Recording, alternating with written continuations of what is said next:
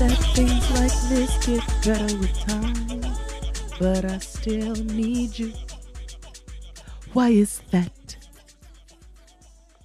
You're the only image in my mind, so I still see you around. I miss you like every day. Wanna be with you, but you're away. Said I miss you, missing you insane. But if I got with you, would it feel the same? I should stop. But Keia's not here.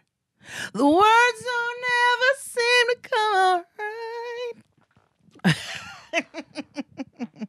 you know we gonna act up when mom's not home. Welcome back to another episode of Getting Grown. Burr, burr, burr, burr. Sorry, friend.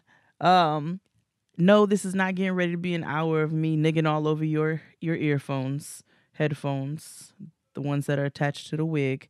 This is just me coming to do a little intro to let you all know that this is a best of so far of getting grown. We thank you all very much for rocking with us for the past year and a half. Damn, it's been a year and a half? That's crazy. But we thank you all for rocking with us for the past year and a half, for your contributions to the honesty box, to the petty peeves, for you all writing in, for you engaging. Um, it's just been for you participating in the live shows, buying tickets, coming out, buying plane tickets. Like, what is that? You know what I'm saying? Coming for Team Typing Fast and taking care of events. The first one in DC, the one in New York, and then also the Woman Evolve brunch. It's just been such um, an honor to be able to to start to grow this platform with you guys, and we really, really appreciate all of you and your support and just everything that you've done to help Keia and I along this journey. And we can't wait to bring you better things for 2019. You know that we're growing and we're learning, but we appreciate your patience and we appreciate your love and your grace as we do so. Every single one of you is special, even the lady who told us to do better. but we just have a little episode, best of so far. Um, you know, a couple intro songs from your girls, you know, just screaming all over your ears. Uh, some even a little tr- t- some trash, um, some of those beautiful gems that Key is able to drop during the kitchen table talk, as well as some honesty box and petty peeves. So, thank you again for listening tune in for some of these from these cute clips and some of our favorite clips, some of our favorite discussions and what have you from the show so far. Make sure you write in. Let us know what some of your favorite moments from getting grown is so far. Um, we also want to thank our editor Ty, who's been so wonderful. You all know that we record late at night. Well, Ty edits even later. So I want to make sure that we publicly thank him for all of his hard work uh, in the brand and as it's growing and as we grow our individual brands. And we just love all of y'all. Like all of y'all just contribute to make this thing possible and successful. So thank you so much. Shout out to everybody who supported Getting Grown from day one. And, sh- and it supported our family, the Read, Kid Fury, Crissle, the Friend Zone, Fran, and Dustin and Assante, as well as me and my brother XD. So we thank you all from the bottom of my hearts. We hope that you all have a beautiful new year. Make sure you cook your collard greens and your black eyed peas because we want to make sure that we all prosperous out here in the new year of 2019. With that being said, let's go ahead and get into this good old show. Uh, so this is another episode of Getting Grown where we discuss the tests, the trials, the tribulations, the takes, the takeoffs, the offsets, the cardies. and everything else that Keia will not allow me to say while she is here. Thanks, guys. Tune in. Appreciate you. It's all love. Oh, so it's the roll call, baby. It's the roll call, baby. It's the roll call, baby. It's the roll call. Hey, what's up, y'all? What you gotta say? Who's on the phone with Ed Lisa? Dre, well, it's Keia waking up to Ed, Lisa, and Dre giving shouts to all the peeps from around my way. And that sounds cool, and that may be. But where you call it from, Keia, what city? Well, some think I'm crazy, and others kind of strange. But whatever it is, y'all think I'm representing White, White Plains. Plains. White Plains is in the house. White Plains is in the house. My name What's is up? Jade. I like to play Hey. spades. My favorite Hey. drink is lemonade or Kool Aid. Hey, ooh, wee. That sounds good. But where you from, Jay? What neighborhood? It's that girl from the land of the kings, Brooklyn, y'all. You know what I mean. Hey, oh. oh, God. Everybody, Yeah. rock your body. Yeah. Everybody, rock, Rock your, body right. Why are we singing Backstreet Boys, though? we sure are. It's a small world after, After all. all. that old nasty vibrato. Mm, it's gross. a small world after all. Yeah, man. We just so like the creepy. world is is crazy small. It is, and what makes it even smaller. So my my coworker is actually one of the um one of the organizers as well. He is also John Legend's first cousin. So he That was means a he probably got good Baptist vibrato as well. oh sis Oh, he be he be day. Pentecostal Pentecostal, and they be When the morning comes, he be he be hum diddy diddy around the it will be office. it will be on. Oh, one day. Say for my love. Say for a moment to be with me. Say for my love, just a little. Save a little for me. we're not gonna talk about John Stephens on my watch because I Won't enjoy you save him. a little? I love John. What you talking about? Listen, and he sings live, and he sounds like his voice has been digitally mastered. Does. you to know it. Sis, he sang at the con- at the conference. Woo! I was at. I told you I, I always tell the story about how I almost got put out of the Merriweather amphitheater at the concert because I was like, "Do y'all hear John? John is singing. I don't know what you came to do, but John came to sing." they was like, "Shut up!" I was like, "Be mad if you want to, but that nigga is singing." They were so ready for me to go, but I you was like, like that lady who was next to my dad at, at, at the last Luther con uh last I was about to say conference, the last Luther concert that he went to. Oh, he said there was this lady. he said there was this lady next to, and my dad. So full disclosure, I am not on pitch. Keia is, and so is my father. My father can sing down. he sounds like Jeffrey Osborne. so my fave. So um, Can you woo woo woo? one night I loved a stranger. cannot even complete any sentences tonight. Please. I'm sorry. I'm sorry. I have a song on my heart. But uh, he was at this Luther concert. And so he was singing along, you know, huge Luther fans. And the lady next to him, ah, Luther! She's speaking, she's screaming the whole time. Because sometimes the spirit just moves you in a way which you just have to just give God the praise right there. That's how Wait. I felt.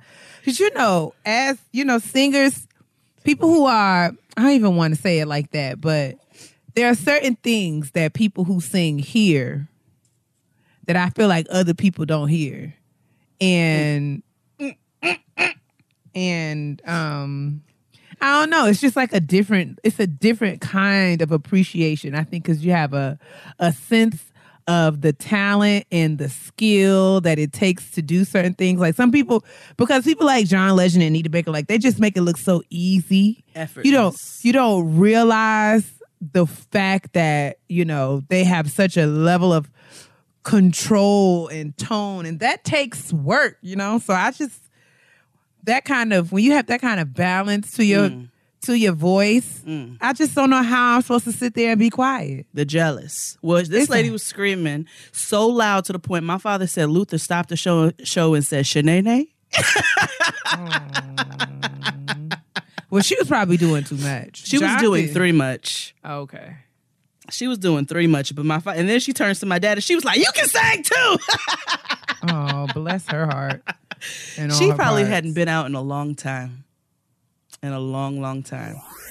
Didn't tuck me in real tight. She turned my nightlight on in and kissed my face goodnight. My mind would fill with visions of perfect paradise. She told me everything. She she said he'd be so nice. He'd Oh ride his horse, take me away one night. I'd be so happy with him. We'd rain clean out of sight. The story ends as stories do. Reality steps into you. Hey, I don't, I don't know what, th- what was that, sis? Was it Anita. You didn't see us away? Well, the thing is about Anita Baker is you were enunciating. So Oh, you're I love my mama Anita Baker. Yeah, I was a lot more slurring. We're gonna need a lot more of words just flowing into one another. Because I'm of the belief that one can actually sing an entire Anita Baker song without closing their mouth. I have done Yeah. this before. Let me give you a brief example. yes. With all I love, Hey, will, and you will see my love. We'll hold the way.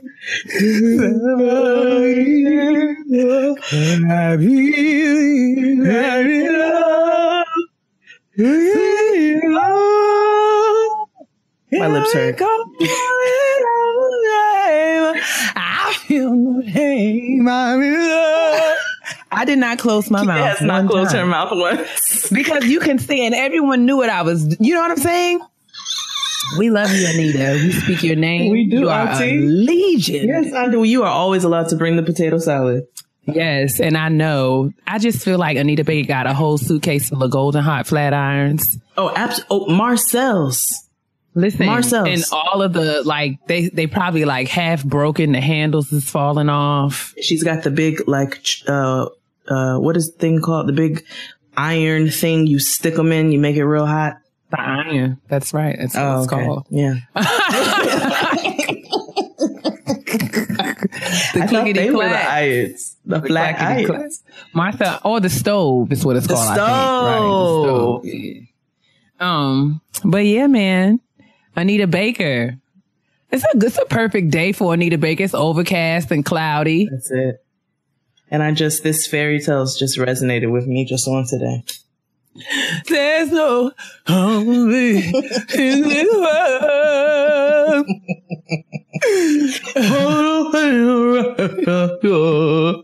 you Any Anita Baker song. She was yawning. Uh-huh. She's like a long yawner. All I just love you, Anita. and I have listen. My Anita Baker catalog is. Ooh, you all right, sis? You want to drink some water or something? My gosh, you have not even greeted the people. Praise the Lord, niggas. How y'all doing? Yes, sis. I don't want you to Oh. die over there. Yeah, I'm working on it. I don't. Woo. All right, I'm strong. I'm strong. What's up?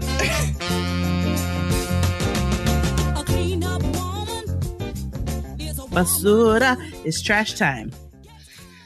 So, Yes. in our trash this week, we find out that Clifford, not five nine Harris, has been charged with three misdemeanors. Who said Clifford was five nine? He did, and I have seen him, and I Quinn? I know my Quinn. I know I'm blind as a rat. When? Oh yeah, he said he said five nine with the soul of a six foot nigga. Five nine. hmm Is he count as Mm-hmm. inches or centimeters? He's, he must have meant fifty nine centimeters tall. That's what he meant. That's the only. That's the only uh, logical, rational explanation for a sent, for a statement like that. Because the thing is, I know I'm blind as a rat, but I see where you stop, my nigga, and I know it's not at five nine. I've not been in I'm the five same room. five. I've not been in the same room with T.I. ever. House, uh, how, however, I do believe that uh, that is a lie.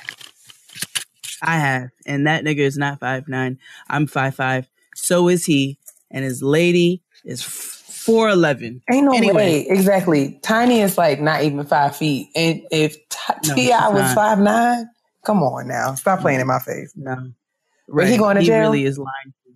No, uh, um, he's not. He's not going to jail. He, but he has been charged with three misdemeanors after allegedly assaulting a security guard back in May. Um, so it was a situation where he couldn't get into. He was. They wouldn't let him back into his gated community. Uh, and I think he was charged with some some drunken disorderly conduct and a few a few couple things, but um, most likely he will not be facing jail time. But he still needs to stop lying to us about how tall he is. What an angsty little man. So the succubus got on stage Whom? and gave Madonna, Oh, um, because I'm convinced all- that she and the Olsen twins are all three 1,000 years old. what on earth? She first of all, she got up there dressed like uh, she was about to sing Blackbird singing in the dead of the night, and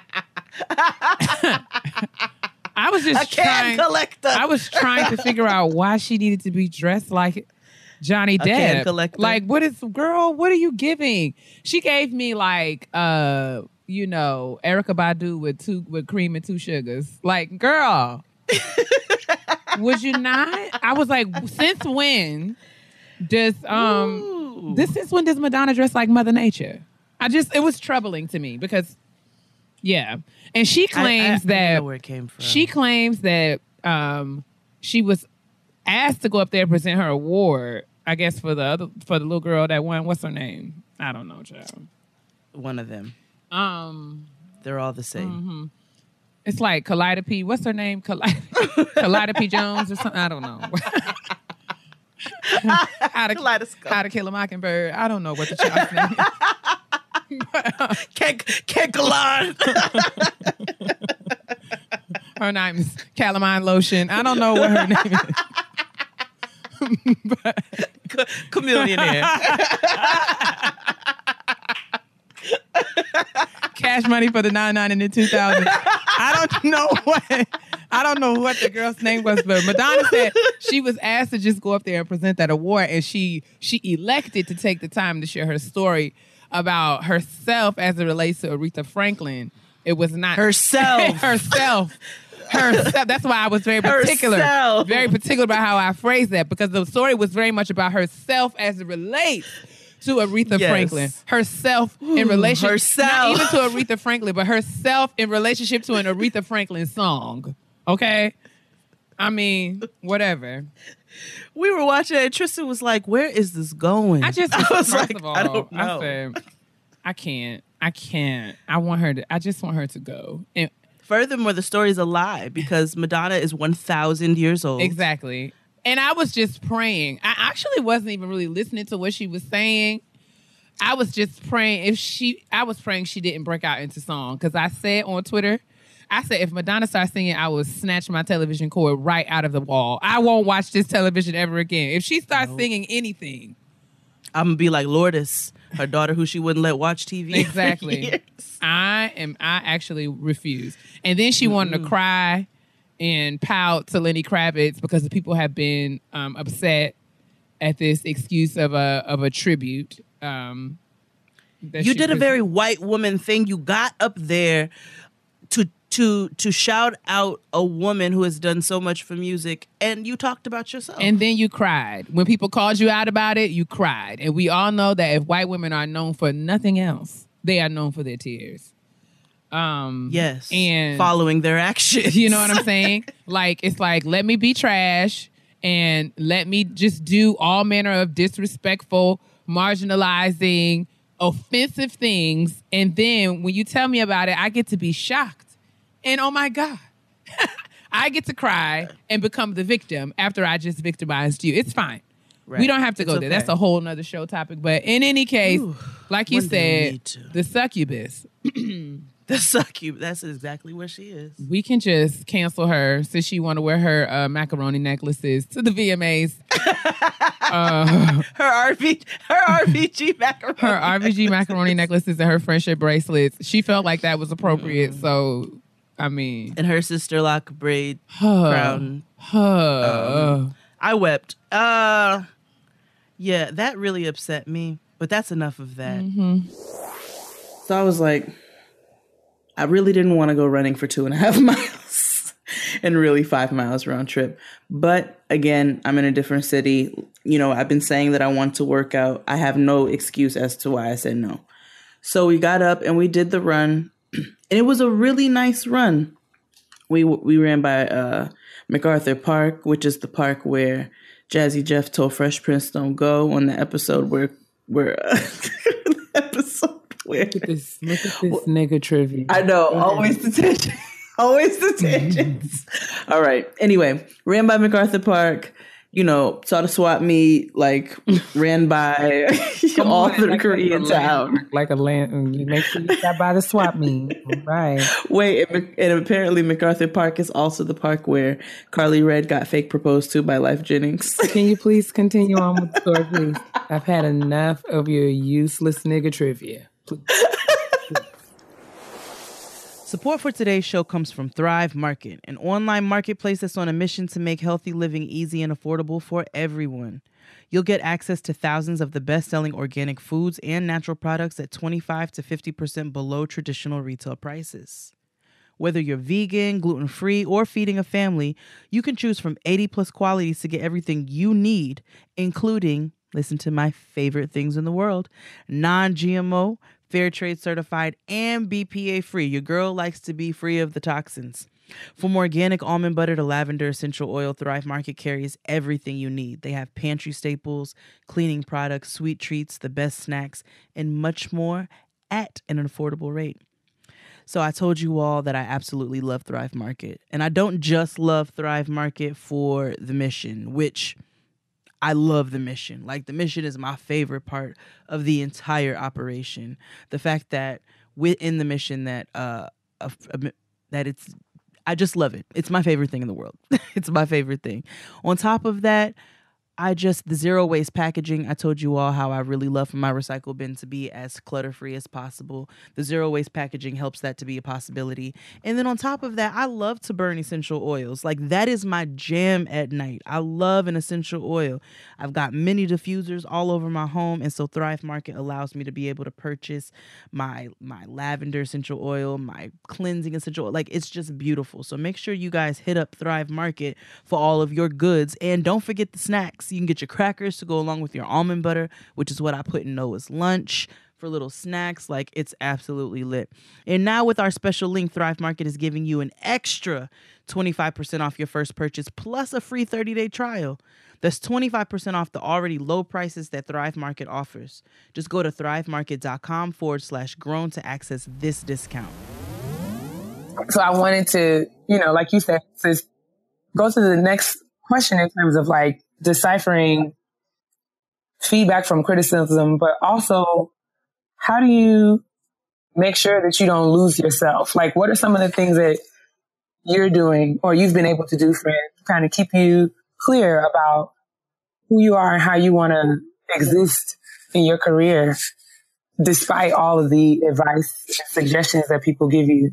Honestly, I think um, solitude Mm-hmm. to me is like where people gain their streak of genius. The thing about feedback, as helpful, like you said, as useful as it can be, it's also people's projections based on their circumstances. Mm-hmm. You know what I mean? And and not to get all like preachy or whatever, but I'm channeling my trajectory. You know what I mean? Mm-hmm. I'm going as I go. Like I listen to God, I pray, I'm channeling the next steps. So feedback isn't always useful because even if someone means well, they don't know what I'm channeling. They don't mm-hmm. understand the story that's unraveling for me. Mm-hmm. And so while they might have a picture based on their story or people around them or what they want for me, it can actually be detrimental to plant a ton of seeds, you know what I mean, in my direction. When in reality, all of us, even sitting here, even people listening, we, I'm not following a formula. Mm-hmm. You know what I mean? Like, I'm not, you know, people tell me, oh, the next step, you got to do the book and then do this and then do that. And it's like, that's going to happen, I'm sure, because I am drawn to it. But in my heart right now, I don't feel that. And every step for me has to be felt. That's the only way I can move forward. Like, I'll sit and think, does this feel good? Even with everything I do, that's why I left YouTube because it didn't feel good anymore. Mm-hmm. You know what I mean? It didn't feel, I no longer felt connected. Mm-hmm. And every step I take, I'm super mindful of how my body, even like on a physical level, on an emotional level, spiritual level, I pay attention to the subtle energies that mm-hmm. let me know this is good. You know, this is where you should be. I feel like I'm thriving. I can feel that I'm growing. And sometimes you can get confused because things can be challenging and you might take that as I shouldn't be doing this. Mm-hmm. Yeah. But you need to learn to read through what challenges are actually helping you break through to the next step. You know, so there's a lot of deciphering, a lot of processing. Mm-hmm. And because of that, I choose solitude because there is a lot of deciphering and processing that I need to be doing. And I don't really, that's why like feedback is not always my favorite thing. because mm-hmm. sometimes I'm like, thank you. but I'm figuring out what Fran was put here for. Mm-hmm. And you don't have those steps right. because they're not for you. Right. You know what I mean? So I guess my advice would be consider the source always. And it's always a case by case basis. You know, like I have some friends that they give me incredible feedback and I love them and I trust them. And I know that if they're giving me feedback, which they rarely do, but if they are, it's always with the best intention at heart. But even that, I still take as a grain of salt. Mm-hmm. You know what I mm-hmm. mean? Like I, I, Fran is the feedback I need to be listening to. Absolutely. Yeah, totally. It's like you have to have a a sense of self. Yeah. Because without that, you can literally be whatever people people can choose who you are. And that's mm. a dangerous place to be. Oh, it's so um, dangerous. So dangerous. Because it puts you in a box. It puts you, it, and I know that's also like used so much, but it does put you in a box. Like I'll have people hit me up and say, I think you need to come up with a sample catering menu so that we can just give your information out to people and let them know kind of what you're what you offer. And I have to let people know that's actually not how I work. You know, I'm not here to boring. make big pans of rice and peas and fish right. and you know what I'm saying, like broccoli and give it to you because like I could anybody can do that. Right. But I want to make dishes that people really want to eat. Mm-hmm. You know, anytime that I've watched any cooking shows, anytime I've I've read uh, recipes, I've watched videos, whatever. I'm like, I look for the things that I want to eat. And so I, that's the kind of content that I want to put out. And that's the kind of food that I want to put out. I want to put out things that people truly want to eat, which is why I do consultations. This is why I sit down with people. I'm like, what are you like? What are you really like? Are you going for a street food theme? Are you uh, like, a, are you doing that? Are you going for something more elegant? But it's fun to be able to play on those menus on what people want and I'm I can't do that when I'm offering you a pan of curried shrimp for $95. You know what I'm saying? Like if you want curry shrimp, then we can talk about curry shrimp, but I'm not just going to offer you six options and that's what you have to choose from. That's not how I want to work. And you prefer to flow. And I think Absolutely. Being in flow to me that is and and my interpretation of flow is channeling. Mm-hmm. You know that when I'm in flow that means that I am completely receptive to the yeah that I'm supposed to be taking in. Right. And that's why you prefer that than to just create a generic list right. that doesn't allow you to channel what what I really yeah, want to do. With the evolution of Jade as a chef. The evolution of Jade as a chef. yes, indeed. The evolution of that. That's like the that should be your book title. That's going to be my cookbook. The evolution of Jade as a chef. Dedicated to Franiqua. Franiqua. It's so rigorous. My cookbook's man, rigorous. That's the name of the cookbook. That's it. That's it. no, but that's so key, right? That's so key because, like you, you said, channeling or being like just like to stop and listen. Just, I guess I keep going back to that point because that really punched me in my face when you said that, like solitude and being, mm. being comfortable with hearing, um, you know, like being led of yourself, being led or being led by what leads you. Mhm. So a lot, I, I remember, I don't know where I got it from. I probably heard some preacher say it or something, but it's like we often pray for God to give us direction, but we don't ever stop and listen or stop and take it. Hello. That's so That's really it. so and you have to there's something to what I've learned in my own kind of faith walk and growth process is that you have to have that time by yourself so that you can know how God's going to talk to you. Yeah. Because Mhm. the way he talks to you may not be the way he talks to everybody else. And you have to be able to hear him to know. Because I like I say now, I only want what God wants from me. Like I appreciate what you think would be helpful or useful or what would take me to the next level, but I don't want anything that's not mine. Thank you. Nothing it. that's not for Keia. And that's That's your exactly it. That's exactly, my point. And I, and honestly, as soon as I feel myself asking, because you know, we all ask that question of God, what's next?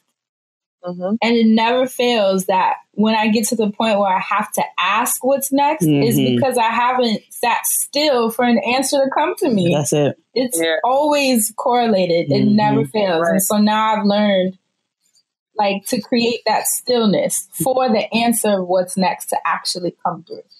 That's one thing that I always, I always, like. That's the one thing that I had, and it and it it always came across um, when I was younger as just being stubborn.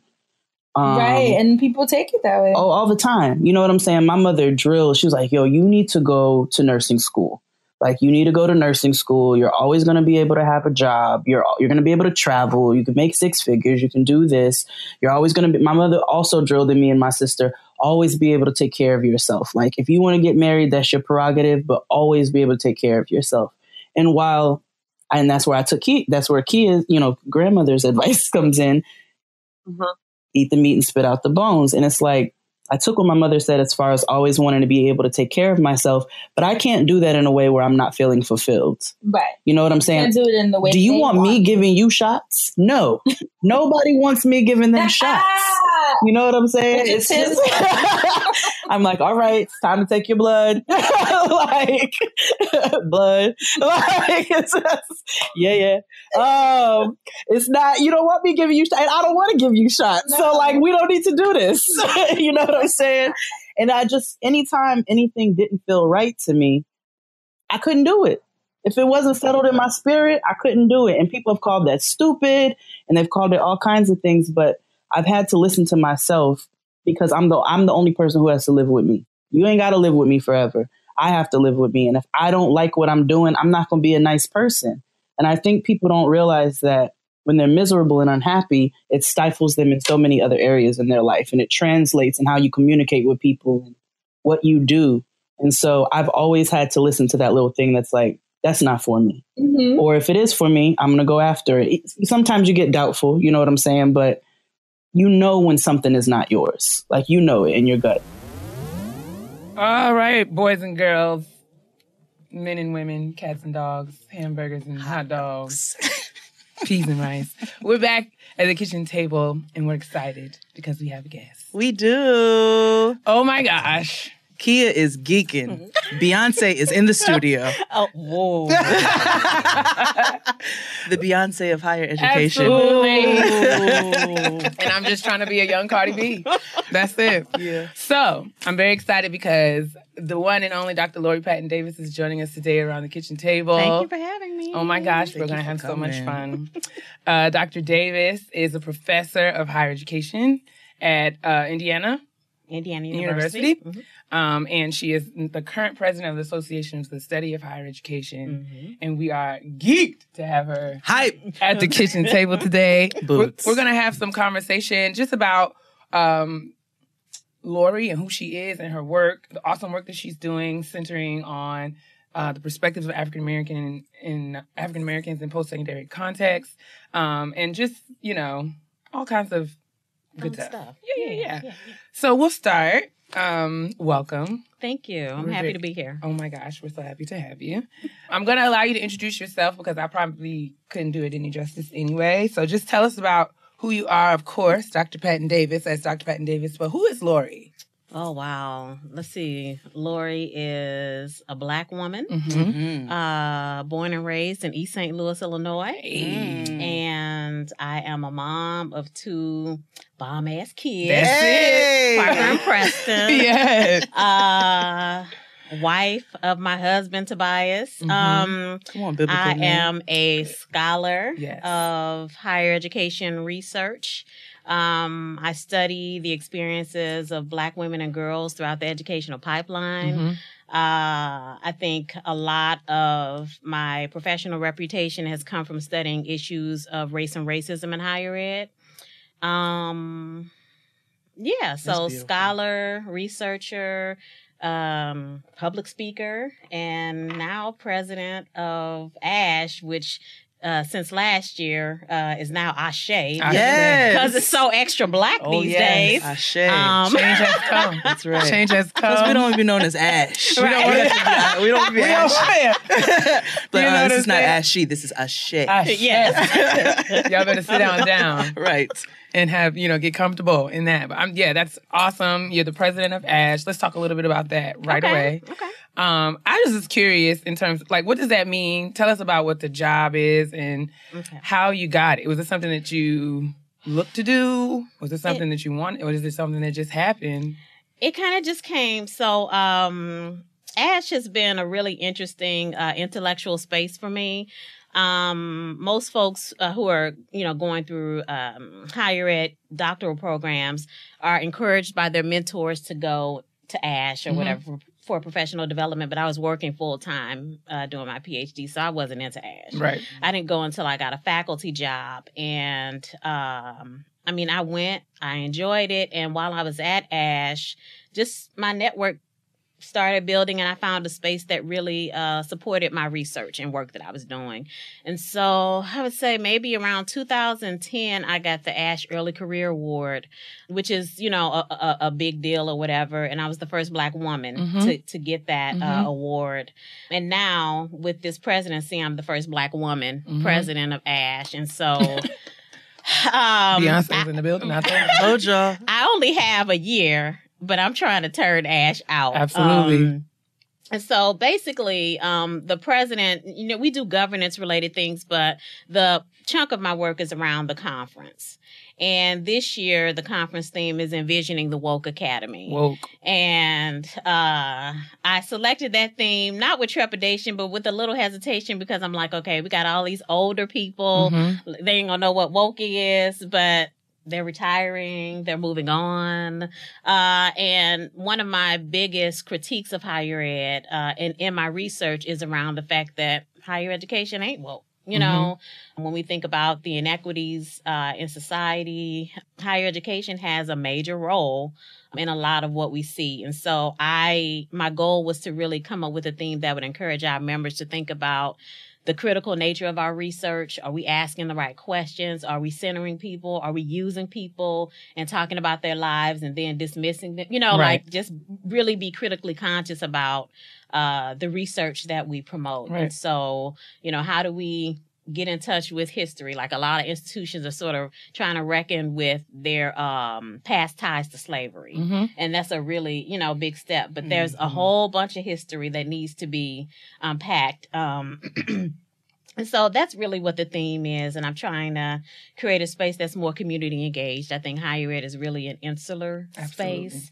and so how do we do work that feeds the community that serves the community that centers uh, voices that are typically invisible when we think about higher ed research That's amazing. What did you? What was your major in undergrad?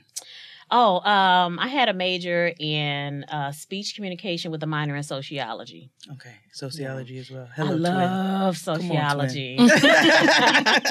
but what? Well, how did you get into higher education?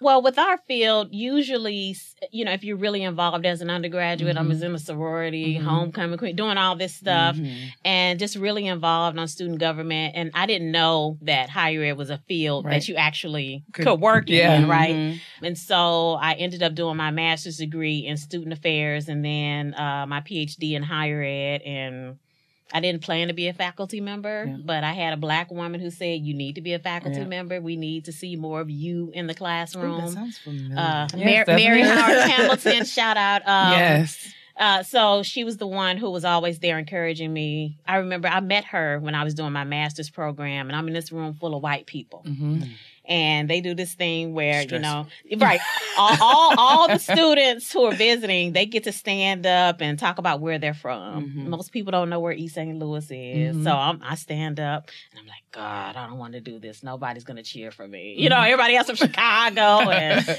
all these places. And Mary was a lone person, gave me a standing ovation because Oh. she's from Alton, Illinois, which is right next door. And Right. so she was one of the first people within the higher ed space to sort of validate me and, you know, validate me being there and, and, and, and in that space. I, you know, got the degrees and kind of got nurtured into this faculty pathway. And it's been good so far. and I'm sure as a black woman that has led you to these other passions. Yes. yes. Experiences and so forth. hmm I love it. I'm I'm grinning because I feel like Jay was saying it's familiar because you know we've been friends for a while and she's watched me kind of figure out the pathway hmm as well, and it's been awesome to have models like you, my chair Sharon Fries-Britt and Mhm. Kimberly Griffin, and you know all of the countless other women um, in our field who are doing this amazing work. Who we get to come and engage with at these kind of conferences, at these spaces, but when we get to our campuses, we find ourselves by ourselves Yeah, a whole lot. Even in that, even in that though, um, I think that we are kind of growing in number as a population of Black women, specifically in this field and in many fields. Mhm. Um, I want to talk more about you as the first Black woman to ASH and it being 2018. So I'm just wondering, like, you know, do you feel like why is it just now? like Mhm. having having it, it's, it's taken us a while to get to have a, a Black woman in this seat. Mhm. Um, and what do you think that's about? Cricket. exactly. I'm sure there are lots of Um, reasons, but just, 2018 don't mean shit. If we're just gonna be real, that don't mean nothing. uh, clearly not. I'll will give Ash credit in that I'm not the first woman of color. So there Right. have been uh, maybe two or three Latina Mhm. presidents, um, and two black men presidents. But I mean, in every um, category we think about, black women are often, you know, thought about last, Mhm. the afterthought. And so um, it's not surprising to me that it's taken to 2018. Um, and honestly, I don't know who the next. Yeah. I, I hope I'm not the last. Yeah. Um, but I, my feeling is that um, whether it's higher ed or any field, you know, black women, you know, I look at black women as possibility models. And so that's what I'm doing in this role. I don't, aside from talking about racism and hetero cis patriarchy, Mhm. I don't know why else. You know, black Right. women, you know, would Right. be last. Uh, we should be first. We Huh. are first. Absolutely. People just don't know. Um, they know that's why they keep trying to copy us. they just don't want to admit it. I mean, love who we are, but don't love us, right? Exactly. So, um, you know, it's taken a long time, and I'm just gonna try to do the best I can in these next several months to. What is it? Uh, what's the word I'm looking for? Slay. Slay. Yes, Slay ass. slay. All day. Beyonce's language. That's slay. right. Yeah. Yeah, you are her. She's you. Come One on and now. the same. So since we're talking about black women, you know, Mhm. we've discussed the different tropes that are oftentimes, you know, placed on us, like Mhm. strong black women trope, the angry black women trope. Mm. We've talked a lot of yeah, Mm. Yeah. we've talked a lot about that, um, and and how you know we have to kind of carry these things throughout our our daily lives, and I'm just wondering, like, you know, I'm gonna take a personal privilege to ask for my own advice. It's like even within the space of, of our field, um, I felt pressure from you know white people, but also from other black women Mhm. and other people of color, um, you know, that feel that that that like to tell me how I have to exist in this space, Mm, uh, you know, in order to have some level of success. mm, mhm. You know, Kat and I work in the practice and policy space versus you know being traditional Mhm. faculty, and that's a thing, you know. And I'm I like to be myself. I'm from New York. I, I wear long nails. I'm bracelets and I got blonde hair Do right you? now, and I do what I want to do. But I ha- it has gotten back to me that some people have felt away or Mhm. felt like, or even me having this podcast, I wonder about if that compromises the integrity of my scholarship or how people perceive me. So I Mhm. wonder if you could speak to some of those things because a lot of us are in these in these spaces and feeling and dealing with this pressure, um, and trying to figure out how how do we maintain ourselves Mhm. and you know take care of ourselves, but still you know reach the goals that we've set professionally. Right. Um, so I've been lucky enough. So I had a black woman mentor Mhm. in uh the higher ed space, and then I've modeled a lot of that with black women, you know, that I mentor. And my advice has always so I love to tell people wear a dress, but that's because I like dresses. not not because it, it needs to be to impress someone. Right. Like when we were coming in today, I was looking at y'all shoes, right? Yeah. And I'm like, oh, those are so cute. and so t- for me, I mean, and maybe it's I don't I didn't always feel this way, but I feel this way now. Be who you are. Like wear the nails, the the bomb make. I like that. I like that highlight. Like um, the hair. Be comfortable in who you are because you know you only have to answer to you. Mm. There and anybody's discomfort really is about themselves. Mhm. It's it's really not about you. Um, I just say do you. I do like when we were at lunch yesterday and I was talking to Shayla about that picture of collar. Yes. Like if you're gonna do you, you Do gotta be the way, tight. right. Yeah, you gotta look good the whole you know, head to toe. You gotta look good. But if it means, you know, your feet hurt and you don't wanna wear five inch heels, Mhm. don't do it. You know, um, I gave that up a long time ago. I'm like. I'm walking around here with my colleagues, you know, they outpacing me walking fast in them damn flats. you know, and I'm up here trying to keep up in these high heel shoes that, you It ain't know, gonna work. yeah, Listen. these high these high heel shoes aren't writing the articles, they're not writing the That's books. it. And so, you know, I'm just look, I- wear jeans, just look good. Whatever Question you do. for you, because you said you mentioned something interesting right there. You said you didn't always feel that way.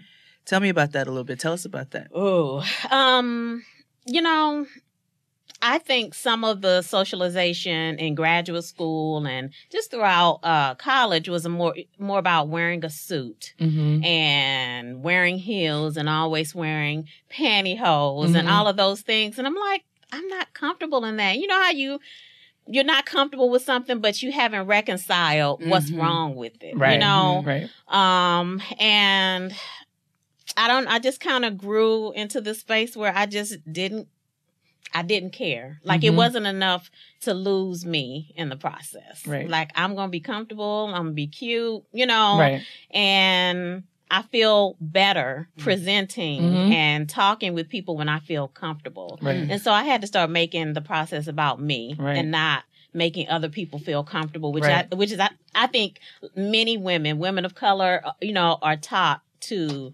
reduce ourselves Yes. so that other people can feel good Yes. around us. And I just yeah. Especially women of color. Right. Yeah. Especially, I used to have this one lady. I worked in a law firm, and she used to come and tell me if something was low cut. I don't wear no low. First of all, I don't even have good cleavage, so I know I wasn't wearing low cut Uh-huh. tops. But if she saw a hint of anything, it was always something. And I feel like a lot of times, and we've kind of touched on this a little bit, that we kind of put that pressure On ourselves. on mm-hmm. ourselves and each mm-hmm. other as people mm-hmm. of color.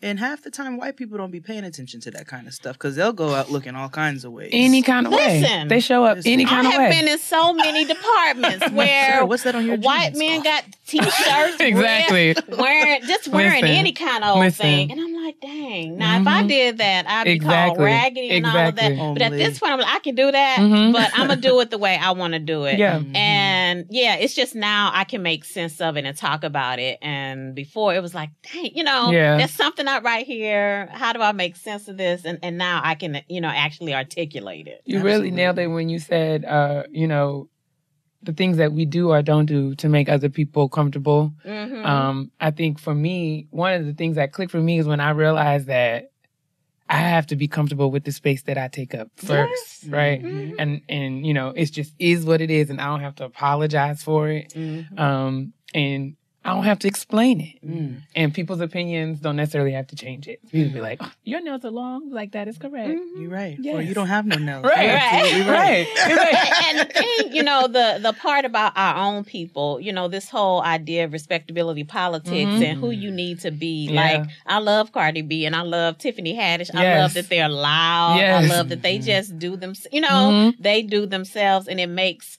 other people, uh, sometimes Black people, feel uncomfortable Right. because, you know, again. A lot of people feel like we need to cater to this white dominant way of being, and I love that they don't. But the thing about it is, it's not even a white dominant because it's like we said, white people just do what they want. So it's like, why can't we? That's and I the think privilege because they you know, operate in but the they got privilege the that they have. credibility and the they get the the benefit of the doubt anyway. They do. Yeah. They do. and you know, black people often feel like we got to be a certain way to just get the benefit of To that. prove. yeah, The proving thing. No, Yeah. This week at the kitchen table, we are going to talk about the things, you know, as women of particular ages, we've learned a lot, you know what I'm saying? And we just want to take some time to reflect. Um, Just a little bit. I had the idea, it really just came out of nowhere, punched me in my face out of nowhere. I was just like, what are some, what are some things that I wish that I would have known when I was in my twenties? Um, if I had to give some advice to my 20 year old self, what would I tell her? and I thought about it. And instead of me and Jay just talking to our 20 year old selves, we thought it would be super cool if we, um, open up the conversation by asking some of our friends and faves on Twitter to weigh in.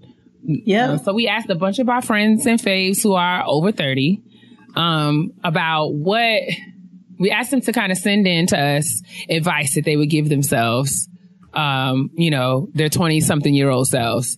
So we just thought we would share those things and um, generate some discussion about some of the things that we've learned over the years. Sound good? hmm Sounds like a plan. So you want to start? Sure. Jade's going to start with her advice to her 20 something year old Jade. What you going to tell Jade of yesteryear? Well, first, I'm ti- I- I'm going to go ahead and title it. It's going to be called "So Many Things." the list. I love it. I can't wait. The list is never ending. This is not even everything I would have told my 20 year old self, but here's a couple of things I would have told my, my, tw- my 20 somethings year old selves. All right. Those white BCBG shoes you bought were a waste of money. My God. Don't ever do that again. My Your God. mother was right. You look like you stepped right off the BX9. Ah. Woo, were they wedges? no, sis, they were full blown heels and they were like, they had mesh and they Mesh? were like sneak, oh. they were like sneaker like they were oh my god they were so ugly god they were they were fugly. Like They I'm were- gonna bring fugly back. They were BCBG. sis those shoes were fetch. They were never coming in. I don't know what I was thinking about but I sure did put them on what are, they were like sporty sneaker heel What are we things. I wore them with a jersey dress it's it's fine. You were, it's fine. you were standing squarely in your terrible decision making. I sure was those were the times It's fine. Good times were had by all. listen to your mom, but don't listen to your mom. Mm-hmm. No, I'm going to expound on that. Keia says it a lot every single week. And I- we've actually gotten a couple of people who have written in, you know, with different questions and things like that, but they'll say it to her. They'll be like, girl, like, it's okay. it's okay.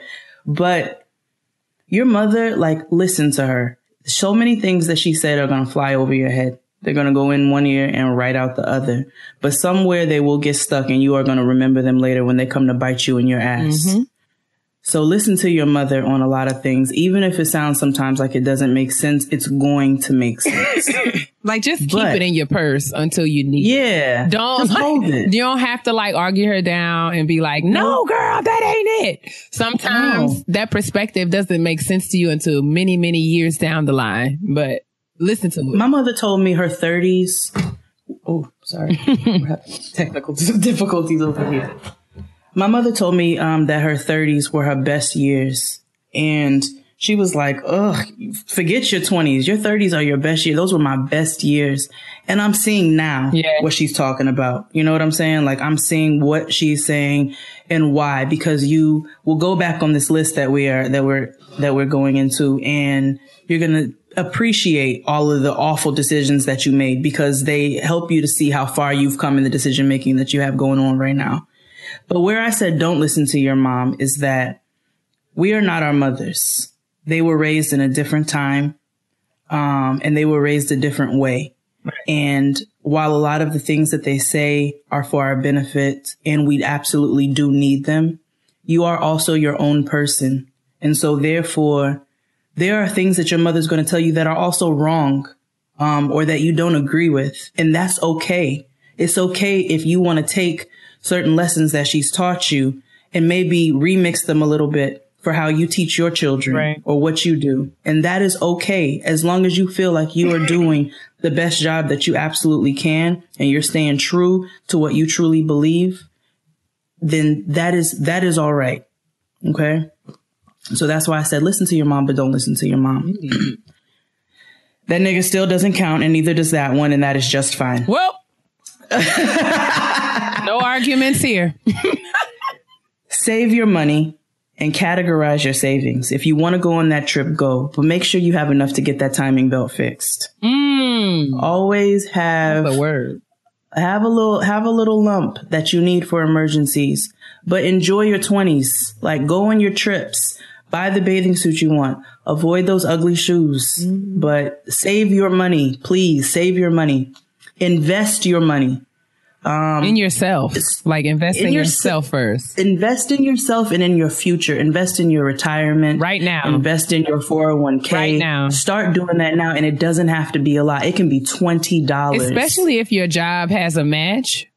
Yeah. You want to take If full advantage of that. yeah. You don't want to leave none of that money on the table. We'll talk about that later because some of our, you know, friends gave that same advice. But what you will learn is that that money compounds over time. I want everyone to Google. It's called the principle of 72. Just Google it. And it talks about how the money, the money that you save, especially as it relates to interest, it will, it will double, literally double after a certain period of time if you, you know, apply the principle of 72. Just Google that. It will really, really, uh, shock you how much money you can earn. If it's, if it's $20 a month, if it's $10 a check, it's worth it, especially if your employer offers a match. Like that's not something you want to sleep on as oh, soon as you can, as not. soon as you can do it. Like I think, and my job didn't have, or maybe I didn't take advantage of it either way. I remember my mother gave me really good advice through my first job. I was like 23 years old. She told me to get a, a IRA. If your job doesn't offer like a 401k or a 403b or something, go to your bank or credit union and ask about IRAs, Roth IRAs, and just set aside a small denomination of money per month and it'll go in there. The interest will compound and you will see, you will see that your money will start to grow. I promise. Yep. Yep. And don't touch it. Like put it in something. You can put it in CDs where you're not able to touch it for a certain amount of time, but definitely talk to your banks, your credit unions, um, your local institutions. Do your research online. Make sure you check out. We'll make sure we put that link in the description box that Keia just mentioned. But invest your money, and it doesn't have to be a lot. You can pay, you piss twenty dollars away. Honestly, Literally, like Every- lunch. you really Like- do. Like, right. Yeah. Like for real. so just put that away in savings and watch your money grow. It will certainly grow and you will be shocked.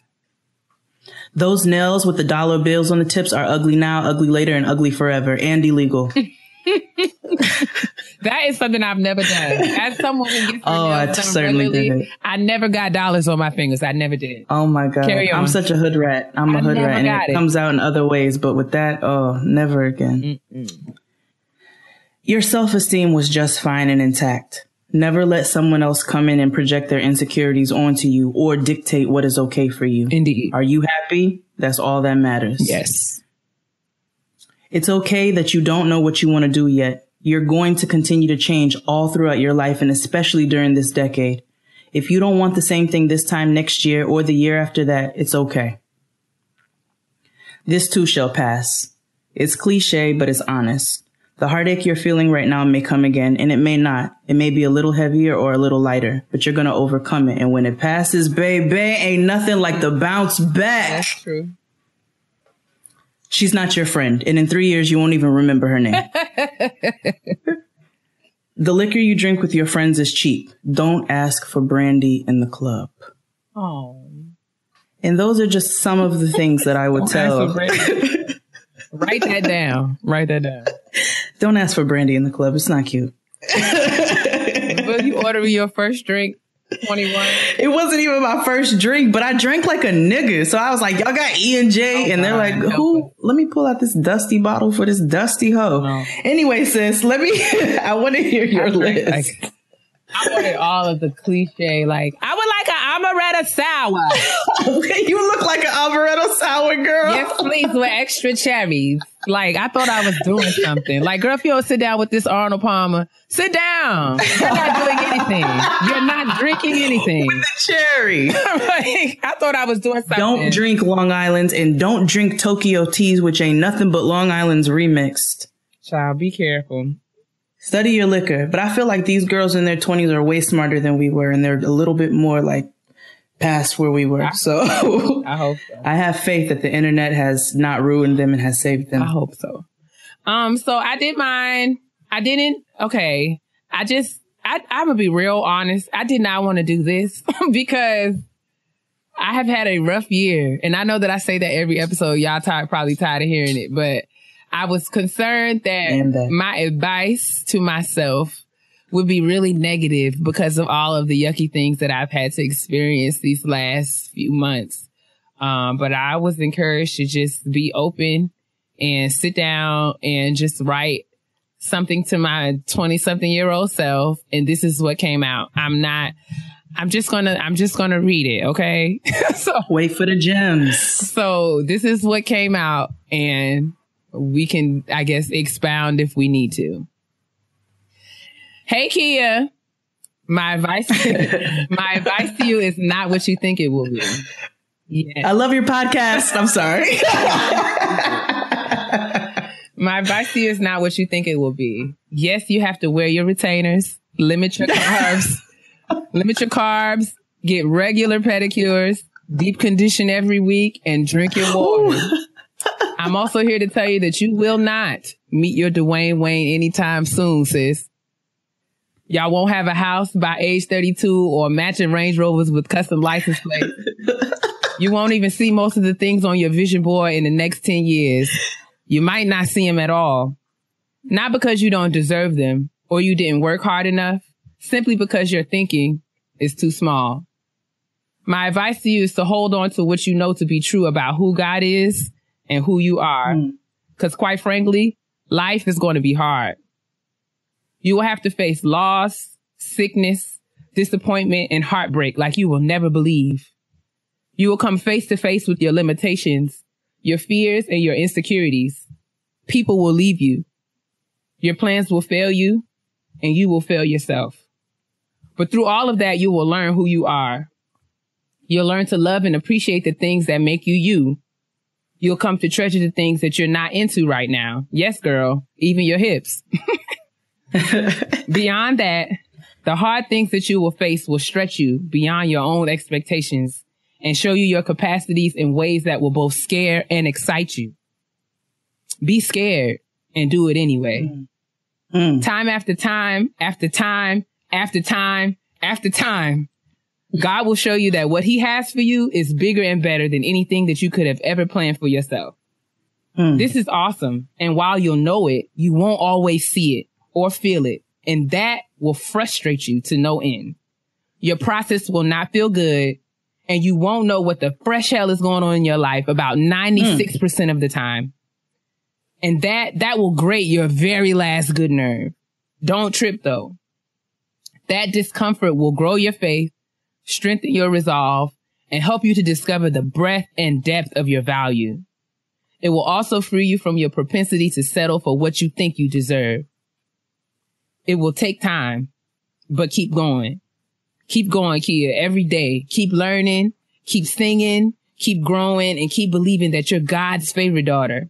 You are precious to hmm. him, and no matter what, he's not gonna play you. Even though the hard things, even through the hard things, he will do things to show you that he's got you and that he hears your heart. He will not leave you. He has plans for you that will blow your mind. Trust him. That's it. Shout out to my sis. I'm so glad I went first. I don't want to follow that. I don't know. Um, oh, oh God. I was trying not to cry. Did you hear my voice shaking? I did. I heard it. I heard it. was so hard to do, man. I didn't I heard it. I did not want to do that. Like, please write that oh, know. down. I did not want to do that. But But you know what? You did it though. You did that. I just want y'all to know, like, I didn't think that I was going to share this right now, but I just feel like I have to. So after I defended my, after, after I had written my dissertation, which was what I thought was the hardest thing that I ever had to do, I lost my brother. And, um, it- it's still like, it still kind of like makes me want to throw up. Um, because, you know, if he was sick or if there was any way that I could have known that I would have to live my life without him, I would have been able to been prepared. But it punched me in the stomach in such a way. Um, and my whole life changed, like everything.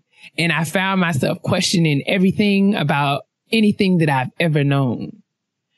And it's really, really been like this weekend coming. Um, he passed on June 11th, but I didn't find out until June 12th. So like this weekend coming is going to be a year since he passed. And I, I'm telling you, sis, I didn't have any expectation to talk about this, but I know. um I didn't want to write to my 20 year old self because it was like, how am I going to tell her? You know what I'm saying? Like, how do you prepare her for something like this? Because I, I'm still like pretty traumatized. Um, but I just had to tell myself that even though, you know, I've had to face something that's been so heartbreaking, um, I still have to believe that even though my life is not what I thought it would be, that something better is coming. Um, cause that's kind of been like the consistent like theme throughout all the challenging things. When I was working on my dissertation and thinking like, man, this is terrible. And I know if you've never written a dissertation, you probably just like, girl, it's a big paper. It is a big paper, but it's a paper that no one's ever, ever shown you how to do. And no one can tell you how to do it. Like there's no one formula that says this is how you do it. So you're literally like, like figuring it out in the dark by yourself and you trying to like find your way to the door so you can get out of this room and you can't get out. So I thought that that was the hardest thing that I've ever had to do but I kept going because I felt like all I needed to do was to get through it. And then once I did get through it, you know, the only brother I've ever had, um, you know, is no longer here with me in the same way. So that's what I'm talking about when I say I've had a rough year. Um, and my life is not at all what I thought it would be. But even through all of that, I think my advice to my 20 year old self is that you're supposed to have a plan. Have a plan. Um, and work towards your plan. But when your plan changes, don't stop planning. Um, just make another one. And, and, you know, try to figure it out from from then on. So yeah, I think I think that's all I got. Um but and I don't want to be churchy and preachy. That's not who I am. You know what I'm saying? Like I'm a church kid. I can't help it. All that stuff comes out of me, but I'm not here to tell you that you have to do everything just like me. I have to I have to like I would be totally remiss in not acknowledging that I would not have been able, I, I, like, I have to trust God. That's just, that's the only way that's worked for me. That's the only way, like losing somebody. Me and my brother are only 18 months apart. So I never knew life without him. Hmm. So, you know, I didn't want to do this because I didn't want it to be all heavy and deep in the middle of the show, but, um, that's that's my advice. You will have to deal with hard things. You know what I'm saying? I'm not telling you to be like, you know, don't be afraid and worried and live scared. Live your life and have fun and make plans. But when hard things happen, just know that you can get through them. That's, that's basically what I'm trying to say. And it is all funs and ha-has and I'm super grateful to God because even through all of my horrible lying, He has kept me from doing from being in situations um and places and dealing with people that I ain't have no business dealing with. I don't. Ooh, I remember. Ooh, yeah. I So yeah, we can say that. Yeah. Like we talked about that even before we decided we were going to talk about regrets. We we first said that we were going to talk about the things that we thought we wanted or the things that mm-hmm. we used to be so passionate about. It's like this is how we talk in the honesty box and we sound like a bunch of old aunties when we're telling y'all and y'all be all stressed out about these niggas, right? so we understand, right? Because we've all been there. Yes. And there was absolutely a time where I, you know, was hemmed up with some with somebody Oh my god. and you know it the situation dissolved for whatever reason and i was devastated and in my bag and now i can look back and lift both of my hands and tell god thank you like you. two hands a foot For not letting literally like pregnant. all of this like you know what lord you had did that just want you to know. because yeah, yes, i all dodged all the bullets Oh my god. I remember I ended up having to run out of this nigga's house in Bushwick. Woo! Down Bushwick. in the trenches like before Ubers. yeah. Down Bushwick Avenue. Still payphone at on night, the corner. Gypsy cabs, not running a plentiful like driver. and I'm literally like racing down the street because I was in a very uncomfortable situation in his home. And it's because of my own I've, dumbass got- I've been there too. um my dumbass activities and being fast and going over and I didn't do anything and I didn't intend on doing anything but he intended on doing something I've and, had some of those and I had to I had to run going i feel like but those are the lessons that you learned, though right? So it took a long time for me to realize you can't be just letting niggas in your house. Yeah, or you can't be daughter. going to niggas houses. You can't be going to niggas houses. You can't be letting niggas in your house the either. rule is that grown folks don't watch movies. Let me tell you something. Mm. if y'all haven't heard it before you've mm. heard it here. Mm. When, mm. when the nigga asks you to come over to watch the hulu he ain't trying to watch no hulu. You No, understand what i'm saying? Netflix and chill came from somewhere. Come on. If a nigga wants to watch a movie with you he's gonna invite you to the Regal cinemas. Listen, he's gonna invite and buy you, you a the bag of popcorn and a blue icy, and y'all will watch the movie and discuss the movie. that's what it that's what it is. I want to see such and such about blah blah blah. But nigga, if your nigga invite you to the house to see Black Panther, y'all going to Wakanda. He wants to give you some vibranium. he wants to colonize Y'all, your y'all, y'all going to Wakanda. Y'all going to Wakanda? You're just going. Pack your bags, sis. Ooh, ooh. Act like you ain't going. Act like you ain't going if you want to. because he has been watching Because he's been watching from the mountains. at your backside, ready to strip your power away ah! The power of the Black Panther has been stripped away. by the Black Panther. Listen, so I'm just saying. I just want y'all to know these are real and things. learn from our regrets and mistakes. We're Make have to have wise this conversation with Noah. choices. Absolutely. Make wise choices, mm-hmm. right? Regrets are a part of life, They are. but I think the major takeaway is you just got to make sure that you learn from them. Yeah. Think critically and comprehensively about any tattoo that you get. Or if Ruben Studdard approaches you Hello? and you curb him, I mean, say do hey, like I do. You know what I'm saying? if you happen to Like sit, if you happen to sit next to the man of your dreams on the plane, say something. Shout out to Plane Bay, wherever you are. I dropped the ball.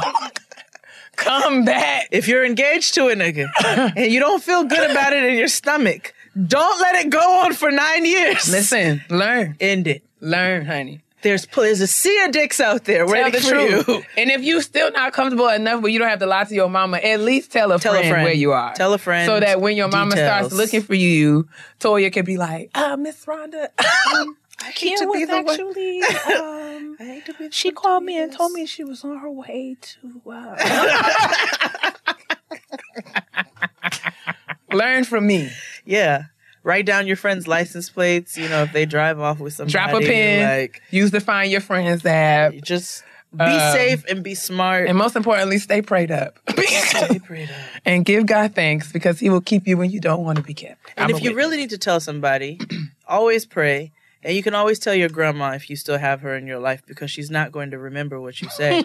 so my grandma will, child. She my, don't forget my nothing. grandma be mixing up all kinds of uh become mixing up all kinds of information. So my grandma, she might forget. she might forget and tell me twice, but she not gonna forget. I said it. Do you find that there are things that you would like to do differently than your mother? Like, do you find that there are certain habits that you have that you might have picked up from her that you you actually try to fight against because it's not necessarily something that you know? I don't know. Yeah, I don't know if it's a habit of my mom's. Uh, and I Or think like it even like a thought process or whatever. Yeah. So two things come to mind. The 1st one being uh my mom was outstanding, amazing, excellent mom. Like she rode for me and my brother without question, without a doubt. And I will always appreciate that for her. And I've never been a mom, so I don't know if this is just what you're supposed to do. But I really wish that my mom would have found a way to learn to balance maintaining some sense of herself outside of being Keia and Brian's mom. Because, you know, both my brother and I noticed that as we became adults, um, because, you know, she had literally thrown herself like completely into being our mom. I mean, she worked and she had a career and everything. Um, but aside from being, you know, career, having her career and being a mom, I don't know that, and I don't want to speak for her, but just from my perspective, I really wish that she would have found a way to balance and find time to cultivate some of her passions and talents. Um, in ways that would not only feed her spirit and but would also like I would have liked to see my my mom is a super talented like creative person.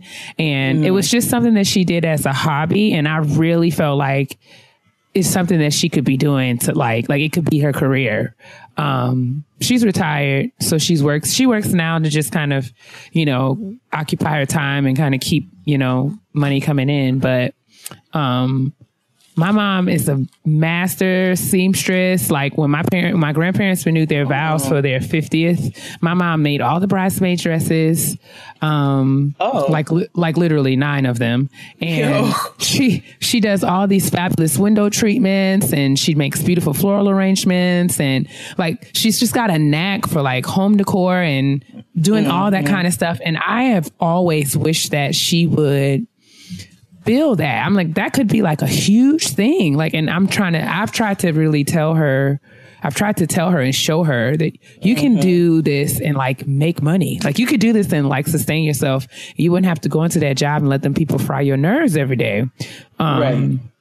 but I really wish that, you know, and I think it's also a generational thing, but a habit that I'm trying to make for myself is to always avail myself of options and to cultivate my passion in a way that it not only feeds my spirit and my soul, but it's also, it's, you know, a resource that I mm-hmm. can, you know, you know, it's an additional source of income, a source to sustain myself and my family. So I wish that I could, if she, I mean, lots of things happen. You know, she was doing it by herself. So it could have just been over, you know, bandwidth, not having the time or the bandwidth or the energy to, mm-hmm. to take on and something else. So I get it. So I'm, this is not me judging her, but I just wish that and hope that going forward, I can kind of find a way to do that better.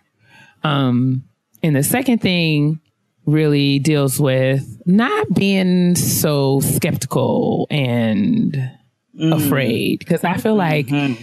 The anxiety and stress and stuff that I carry is it's a lot of that I, I feel like I have because I watched my mom.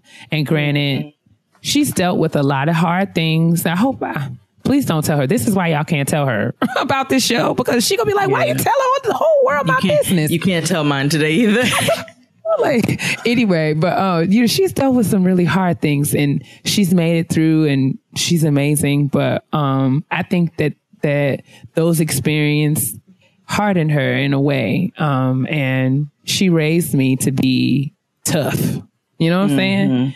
Um, and that toughness sometimes is at odds with the parts of me that, you know, is afraid and is vulnerable. And, you know, so I constantly have this conflict where I'm like, you know, I'm a G. you know what I'm saying? You do what you got to do, uh, and it's got to be done. So you know, and then that part of me who just wants to be like, but I need help. So, so um, I wish that, and I hope that you know that's something that I, I definitely feel like I picked up from her, and I know that that's probably something that a lot of people can say, but um, yeah, I I wish that I could and you know, going back to what we talked about a little bit last week during Black Women Self Care, just trying to like manage my stress, my emotions, my thought life mm-hmm. better because, you know, you get different responsibilities, much is given, much is required. And to quote Diddy right after and Biggie right after I quote the Bible, more money, more money, more problems, more opportunities, more problems. So like the more things that are on your plate, the more awesome opportunities that you have, you're always going to have more and more things to deal with on the back end of that. So, Yeah. you know, finding better ways to manage all of that is really a season that I'm in. So mm-hmm. that's something we're probably going to continue to talk about on the show because I'm figuring it out or trying to every day, literally. But Yeah. That's def- that's definitely something we're going to touch on very very soon because I am in the same space. but I guess some of the things that I find that I would like to do differently than my mother, um, some of them come in just how I how I parent my own child. Uh, she has taught me so many valuable things, just like your you you know you spoke about your mother. She's taught me so many valuable things and you know, so many things that I'm going to continue to take with me and things that I think about later on that I'm like, that's why she said that. And you know what I'm saying? Like, I really value a lot of what she, what she's taught me and, and what she's taught me through action. But I also find some of, some of her, her ways to be things that I would want to change. Um, my mom was super paranoid and distrusting, like I touched on earlier to the point where it made me uncomfortable to talk to her about things that I should have mm-hmm. been more comfortable talking to my mother about. So I'm gonna tell you all a super personal story, mm-hmm. right? So I was 16 and um, I got I, I had antibiotics. I got sick for whatever reason, and I was on antibiotics. So it was my very first yeast infection. Mm-hmm.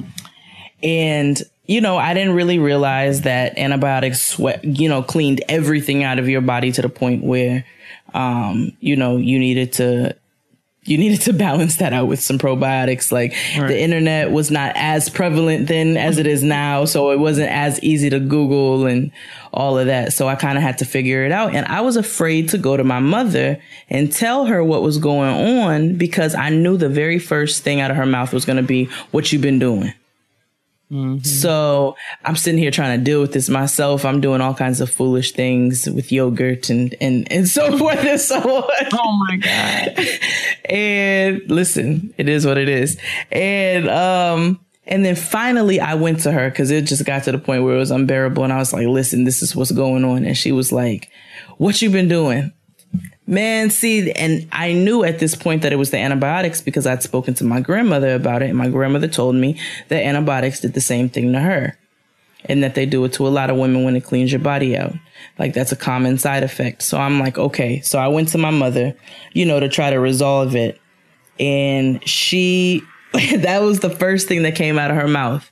And it was always instances like that where it was like, I don't want to come to you because you are not going to be empathetic or understanding to what I'm ta- talking to you about. You like you're not going to be able to put your motherly feelings to the side enough to be able to talk some sense to me. Now, not, not saying that she didn't talk a, a lot of real shit to me because she did, but at the same time, it was always that type of reaction that came along with certain things. And I want to make sure that with me mothering Noah, especially having a daughter, God, this is my karma, uh, that I don't make her feel uncomfortable in coming to me and talking to me about, you know, certain things that may be going on with her, how she's feeling.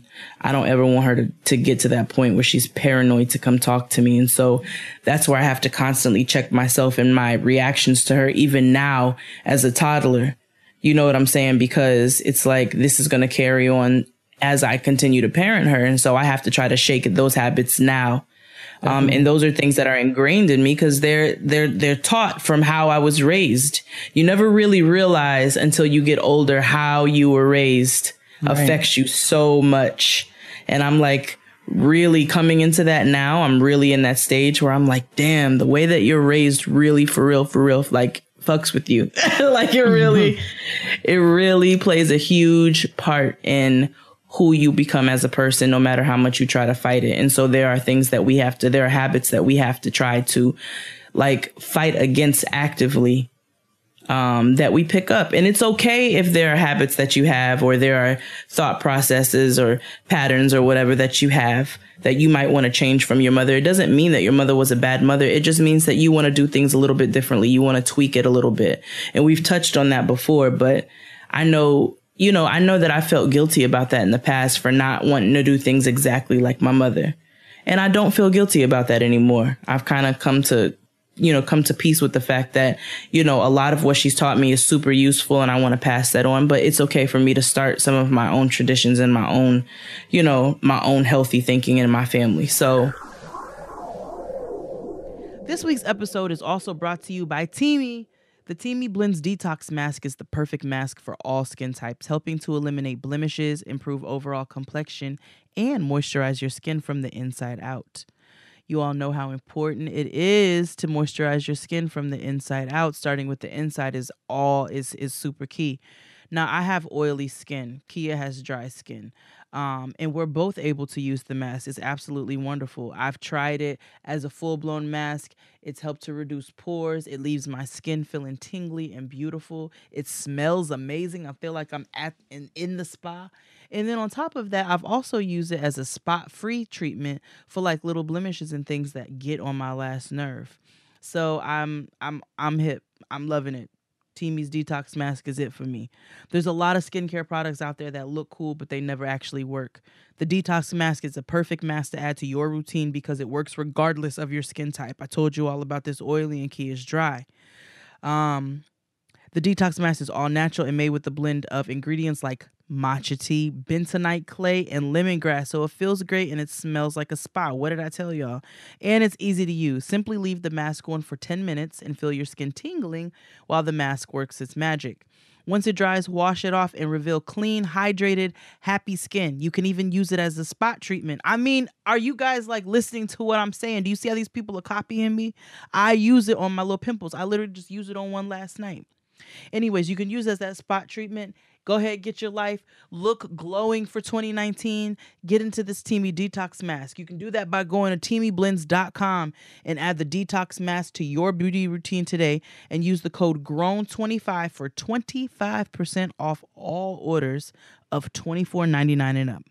That's T E A M I B L E N D S dot com and code GROWN25. Get your life glow. Honestly? Truly. Honesty box time. Hola, Jade Ikea. That's for Jade. oh, Jesus I love how you all appease. Oh, Please God. call me Janny. I'm a 27 year old virgin. I often wonder all how right. I made it this far because TBH, curiosity can kill the cat. oh, yeah. And it's getting to that point. I've always wanted to save myself for marriage, but now I don't see the point. Life is short. Oh. The guy I'm kind of seeing, see below. Please do not read the story on the air. oh, we God. Said, give me your body and I will give you my soul and everything else. So we talked about marriage. Wait. Wait. What? Wait, I'm sorry. I'm not mature enough. Let me, I'm going to be quiet. Go ahead. okay, hold on. Wait a second. Okay. The guy I'm kind of mm. seeing said, give me your body and I will give you my soul and everything else when we talked about marriage. Oh, Jesus I told him we should go to counseling first. He said he wouldn't need counseling after I give myself to him. A part of me believes him, but a part of me believes he's going. This is a trap. I'm sorry. I'm sorry. I just, girl, I am. I don't feel comfortable with this language she's using, but I'm sorry. I need to let you finish. What is this? I'm seeing so many problems while I'm reading it. Okay. I told him we should go to counseling first. He said he wouldn't need counseling after I give myself to him. a part of me believes him, but a part of me, no, don't. But a part of me believes he's going to up and leave. So here's the thing I want to move in with him because I can live in a one bedroom, making the rent cheaper than finding another roommate, and I can still have my freedom. All of this isn't for freedom, but I'm also taking prereqs to get into med school, so I need to save money. Shout out to the two debt free degrees I have in education that I don't want to use. I quit my Hmm. teaching job to protect my mental health and found a job as a medical scribe so that I can get the required medical service hours needed to be a competitive candidate for med school. Of course, my mom wants me to move home, but I feel like I would be stopping my life doing things for all of my family and not have time to do things for me. I'm extremely confident. I'm able to abstain while sharing living quarters, but what would you do? Ah! Uh, gracias para tu tiempo, Jenny. My, my, my. Shay just loves to speak in Spanish. Oh my God. Janny, girl, first of all, why are you dating Count Dracula? Okay, because why does he talk That like nigga is that? like, one, keep counting. Ah, ah, Two, ah, give yourself to me. Give me your body and I will give you my soul. Ah, ah, ah, ah. I am wholly uncomfortable with this, with this line. I don't feel comfortable with this at all because why is he talking to you like this I'm is not some going creepy anywhere. business? I will be right here after you give yourself to me. No, that's not how this works. I don't know. Maybe I'm just creeped No, out, but I'm just it. like, I don't feel comfortable with this, Jenny. First of all, let me tell you, let me tell you 72 things. Number one, if you decide to give yourself to the count and y'all do decide to move in together, I'm gonna tell you right now, you're not going to be doing anything other than having copious amounts of relations with the Count Dracula for months. Like, so I mean, I just feel like you just need to be conscious. Uh, you know, just just just think, you know, comprehensively about all the like. Just consider all wake up all the nigga, this nigga's gonna be standing over you at some point. This is what I'm saying. So I just feel like I think that is it is laudable for you to think that you moving in with him makes so much sense for your life. And I think it's easy to think about these things, but just uh in these ways, right? We can kind of like hope and you know, it just makes sense in our mind. But I feel like what you how you think this might go may look very different than how it actually might go. And then you talk about how Um, if you want, you might not have time when you for yourself when if you move back home because your family is going to occupy your time. Who's to say this nigga's not going to occupy your time? What if he's filthy? Right. You don't wash dishes, then you got to spend time. or like yeah like relationships are relationships occupy your Word. time and they occupy your time all the more when you guys are in a cohabitative situation um it's not going to be a situation where you know I- i mean I just, just there's just a lot of things to consider in terms of how things will change for you um given all the like it's just a lot of stuff that's up in the air right now, right? You don't know how things are going to change if you decide to have sex, if you don't. Like any decision that you make could potentially change the nature of your relationships and the way that you engage with him. Um, and that will have implications for whether or not you decide to live together, which will have implications for your plans for medical school, all these other things. So I'm not here to tell you, um, what you should or should not do, but you asked my opinion. Mhm. And um, there's just not enough information here that I feel comfortable enough saying, you know, that you should or should not do these things. So I guess what I'm saying is I'm I'm just hopefully giving you things to consider Mhm. that will be help that will help you in making your decisions. Uh, and in those things to consider, I'm telling you the things that make me uncomfortable. It's most specifically the, the, the ways that he talks about y'all having sex. Give like that whole give me. Give me. Did you hear how? Give. Did you hear how instantly triggered? I was instantly hate triggered it. by that. I hate it was so like, much. Oh, oh no. Uh-uh. That sounds so uh-uh. I don't like that at all. No That's way. like when I was dating this like the first time I dated a Caribbean man, Lord Jesus, I should have learned my lesson. Um let me stop. Uh this dude bought me uh, some dog tags. Like like oh God, you told me this it was like property of Chris. Huh? And I was like, Well, what? And my mother saw it, and my Uh-uh. mother was like, uh uh, you are property of nobody. but one thing I want you to that's terrible. Jenny, I want you to th- also one thing I want you to think about in a, in addition because I one thousand percent agree with everything Keia said. I had the privilege of reading this email beforehand, so I got all of my reactions to your to to you to your partner. Yeah, I was that was my His- first run. His ridiculous language usage. Um, but I want you to think about this. You are a virgin and you have saved yourself, and that is something that's very special. A person who truly cares about you and loves you, um, and will really be there for you after you quote unquote give yourself to I don't like it. I'm uncomfortable. I am Um, so uncomfortable. Because in a, I mean, in all reality, in all seriousness, you are giving a gift. That is your gift. You know what I'm saying? That's something that you're never going to be able to give again. It's something you're never going to be able to take back. Somebody who truly loves you is going to respect um, your needs surrounding such a heavy decision. And if you came to this young man and said, "Listen, like you know, I, I hope that you," and I'm I'm I'm assuming that you have expressed yourself to him and how you feel about sex. Obviously, um, he knows where you stand if you guys have not had sex. So we're gonna assume all of that. But if you go to him and let him know, I think we should go to counseling. Like it will make me feel better if we do that. That's not something you're not saying that you all need to go rob a bank together. Like you're saying something positive. And if he yeah, can't and I mean, res- she's saying she wants to go like because I'm guessing that it's premarital counseling. Did you get that? I'm thinking because she was saying just relationship counseling, I don't couples therapy, I'm not sure. I just in that realm.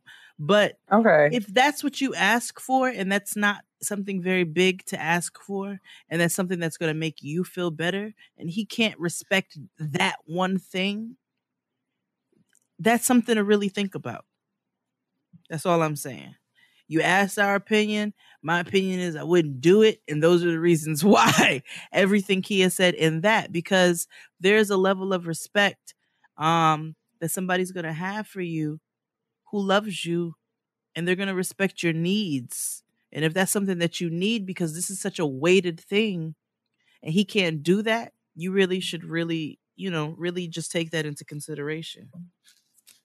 I mean, she sent she said in an email that she's confident that she can abstain while sharing living quarters. And I mean, I'm not I'm not as too much worried about you, but at my level, I'm I'm not confident that he can abstain Right. uh, while sharing living quarters, especially if you know you propose counseling. Um, I mean, it would be it would have been nice to know exactly what would be the purpose behind the counseling, whether that be if you guys want to work toward, you know, if see if marriage was in the cards, or you just wanted to speak to a counselor around your abstinence, or you know, just kind of laying out what that was. Uh, but either way, his response is, you know, he him saying y'all wouldn't need count like sex is not going to be the great panacea. It's not. Like if y'all are having relationship answer. issues, yeah, sex is not going to alleviate or you know, you know, there there's not going to be Quite any. the opposite. It is Pandora's Actually, was about to say, absolutely, absolutely, it it will absolutely make matters worse. Absolutely. It will Um, and, absolutely I, and I'm speaking from a place of experience. experience, So- honey. so um yeah if if that's what you're thinking um i i would just i would offer you that and we're not laughing right at there. you through this. So we don't want yeah. you to think that we are laughing at your nigga though, because the count keep counting. Ah, ah, ah, ah, ah, ah, ah, ah. Um, but we do, we do sincerely. Every all of our listeners, we sincerely care about all of you, and we take your honesty box questions very serious, and um, we offer, you know, truly what we feel, and we just you know beloved it it just don't sound like a good idea And it sounds like yeah, I'm have a whole lot that you need to be thinking about. It just doesn't sound like the move. And another thing too is you're getting ready to move into a space, a one bedroom apartment where you're sharing a bed, an intimate space with this person day in and day out. Like, what makes you think that you're getting ready to have your you time like that? Not saying that it's not possible, not saying I don't get me time because I'm married, but I just everything around this just doesn't sound like a great idea. It just it just doesn't sound like a great idea, and that's just my opinion on it. So I hope that you think about uh, everything that Keia said, and I hope you know some of the stuff that I said, and you No, all the stuff that Jay said too. you take those things into consideration, and it helps you to make a sound decision. And sometimes the decision is not always what you want it to look like. I know it's not ideal for you to move back in with your parents and but you know, think about the consequences of going in the in the other direction. And I want to be very responsible of the things I say to my sister. Because everybody know I can be real petty. P E to the T T Y, honey, honey. Got my costume all ready for the parade. Let's go. Um, so I, y'all know that I don't lie. I've said this before. I get frustrated. I get in my bag when people ask me how to do something that they see me doing, whether that be like walking in heels or typing really fast or, you know, I know where this operating and maneuvering and, and existing in my life with my with my with my nails or going. eyelashes or what have you. You know, niggas love to be like, "How you do that? How you do that? How you walk in them shoes, girl?" I know we've talked about this. I don't want to rehash, but I, How I you whip your ass from front to back? Oh, it's just, it just wear me down. I, I shared this on Twitter today because I, I feel like we do a lot of assuming and that joint burns my grits. It just gets them all clumpy and lumped up and burnt on the bottom. I hate it. It's Um. I think that we assume, like, we assume that because, like, you know, women with short hair have short hair because they can't grow hair. We assume, we assume that women who have long nails have fake long nails. We assume that, um, that, uh, women who wear makeup, uh, uh, have self-esteem issues or are uncomfortable with themselves. And I just wish that we would all mind our business. Like we don't know. Mm-hmm. If you don't know something, then you shouldn't speak on something that you don't know anything mm-hmm. about. Mhm. And I just, mm-hmm. I just, um, I get, I grow tired of the assumptions. I feel like day to day, I'm confronted with, with assumptions. People have full fledged positions. They have beliefs, belief systems and, and mindsets about me and have never had a conversation with me. And that just makes me want to fight. It does. It makes Yeah. me want to fight because it's like you reach that conclusion all by yourself and that's not fair because you're not out here keeping it to yourself. If I heard about it, that means you're out here running your mouth. And I would thank you to, if you can't come to me and say something to keep your trap shut. That's all. And it could be something as simple as, as simple and, and, and insignificant as the length of my nails, right? Mm, Like, mm, or it could be something as big as the, the type of person I am or, or, you know, mm. My character or how I engage with people or if I engage with people. I just wish that people would just not make Mhm. assumptions specifically about me. Right. I hate it. Mm. Um, and I I mean, it's, it's good though. It's, I mean, I guess what I'm trying to, the silver lining that I'm trying to find in this is I've been asking the Lord, like, to, to teach me, like, okay, what I'm supposed to learn through these lessons because this keeps happening in my life. It keeps getting on my nerves. So I need to know what I need to take away from this so that I can hopefully move past and move forward. And I feel like the Lord is showing me the ways that I make assumptions about other people and it's helping me to check that behavior.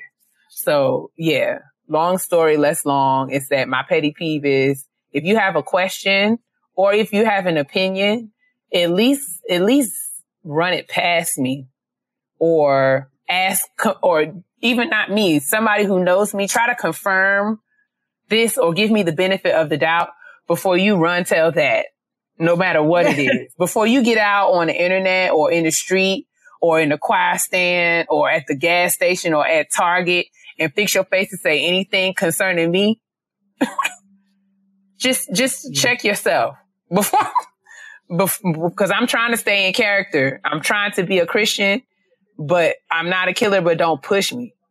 Don't push me, cause I'll go. It's always the ashy niggas too. I it was a bunch of ashy niggas on Twitter one day who were talking about women who wear makeup. You know, like you said, now it, they're insecure, they're ugly, whatever. They just had so many opinions about women who wear makeup, and I was like, all of you all need to shut the fuck up because your mothers forgot to rub your heads. They're funny shaped. They're not shaped. And you hide your Misshapen, funny, misshapen heads. shaped heads with fitteds. So you have no room to talk about anybody. Be quiet. Nobody asks about your opinion. And furthermore, let me, I would also like the record to reflect that a lot of these niggas who are out here preaching the gospel against makeup have beards. And let me tell you, they look like James Harden. there is and we all know James Harden is facially deficient. and there is nothing more deceiving than a beard. Nothing. Mm. Nothing. Nothing. a fitted. A fitted is also Well, a fitted and the, and the beard combination is just like witness protection. I don't even know who you are. Oh, shit. I don't, I don't even know who you are. Who are you? I don't know you. You are a hologram. You're a Decepticon. You're a transformer. Get out of my face. You want to be in here talking about somebody wearing some concealer and you out here with a full beard, a beard and a fitted will make a whole new nigga. Just like that. a whole because as soon as they shave their face, you be like, ah, who the fuck are you? it's like who's, it's like somebody turned the lights on in the club. It's like I did not go. I did not agree to go on a date with Sam Cassell. what does it all mean, Jesus? But yes, Ugh. that's all. That was Niggas my be out here fraudulent as Listen, hell. and they have the nerve. They be out counterfeit. with a, Be- a Beijing, Just a fitted, can't. a beard. You are not the same person, sir, that you were before I'm that. tired. And you be wearing these Tims, give you that extra inch and a half. You out here in a full five seven. Leave me alone. Leave me alone. You hear me? I've seen the episode of Seinfeld where George refused to take off his Tims because he knew they gave him height. I can't. so that's all I'm saying. It it's given. Let this. I'm taking this as a lesson. If y'all want to join me in this lesson, I've learned. I've started to check myself and start to give people the benefit of the doubt before I just be out all here outlandish with my opinions that have that have not been confirmed. Because I'm tired of people coming back to me. Oh, I thought, oh, I heard that you X, Y, Z and one, two, three and, and 23, 24, 25. And I'm just like, I don't know where you got that from because the lie detector test has determined that that is a lie. That is a lie. You are not the You are father. not the father. I'm over here dying because I I remember in my single days when niggas would approach me in Tim's Mm. and I would always take two inches off. Listen, you just gotta do it. You gotta do it. I'm like, oh, so you're really I remember one got it. time, oh my gosh, I met I met this guy in the club. Well, we was out and I had on a shoe. I was in the club. And I was in the club. I had on a shoe. These were the days, honey. These are the days. This is like 23 to age 23 to 27 Keia who was in a pump five days a Oh. week. Keia. I was like, where you can hurdle and you can hurdle in I was out inch. here jumping double dutch. like, whatever. Yes. What you need, I got you. Now my ankles be looking at me like, sis, be seated in the presence of God. But, um, but, uh, so I met him and I was out, right? So the next time we got together, I had on a sneaker. Mhm. So I kid you not, that nigga opened the door and saw that I was like shorter. Like he saw that in my shoe. I mean, in my, in my sneaker, he was taller than me. That nigga was like, yes, whoa. Yeah. He was like, it was a full celebration mode. And I was like, you know what? he, I want, he danced like he was Martin. like, like Martin. Oh, he was like, I knew it. I knew it. I knew I was taller than you. I knew it. He was encouraging himself the whole time. It was that little Martin jig right before he got married where he did I that little. you know what, guys? Leave us alone. Through good times. In bad times, knowing you can always count. No, it's I'll be on your side. Oh, just yeah. mix, you just mix verses. It's okay. It's okay. You're right. I'll be on your side forevermore. Forevermore. That's what friends are for.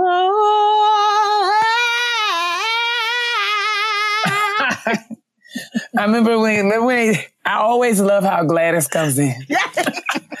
Gladys can do no wrong. Keep shining. Come on, Gladys. Yes, yes. Knowing you can always count on me. Sing, Gladys. oh, for sure. Gladys's runs are legendary. Why do you sound just like? Because I've always wanted to be Gladys Knight. They say, Gladys, you know you work too hard. Mm. Gladys is, oh my gosh, she's right there. yes, she's right there under under Patti. She is. woo! She is. Like those are the aunties. Patti, Gladys, and Anita. Like that's like a little. Oh That's man, a collective for me. That's a collective. But anyway. I gotta see Gladys live. Okay. All right, I'm gonna start. Um, I I can't even tell Ty not to put that in because he's disrespectful. He probably going to do it anyway. He don't listen to me. We know you, Ty. to the T T Y. I'm petty. Yeah, yeah, I'm petty. And that was the last episode of the year of Getting Grown. And I didn't even get to have Keia here. I did not get to troll her. I don't get to like it's not as fun when you don't have somebody here to to like purposely try to get on their nerves. So it's just you guys. It's just me and you. And I don't get to see your reaction. So again, sucks the fun out of it. but once again, we say thank you. We can't say thank you enough. Um, and as we go into this new year, I mean, y'all know what it is. Drink your water, moisturize your skin, and uh fucking dick. How did I forget my own shit? What the fuck? Mind your business. Drink your water, moisturize your skin. Oh, and mind your business. God damn it. Okay, Ty. Boom.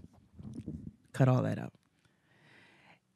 And you all know what we say mind your business, moisturize your skin, and drink your water because your black will crack if it's dry. That was all out of order, but it's fine. It's the new year, and we scramble eggs out here. I'll see you next year, my niggas. Bye.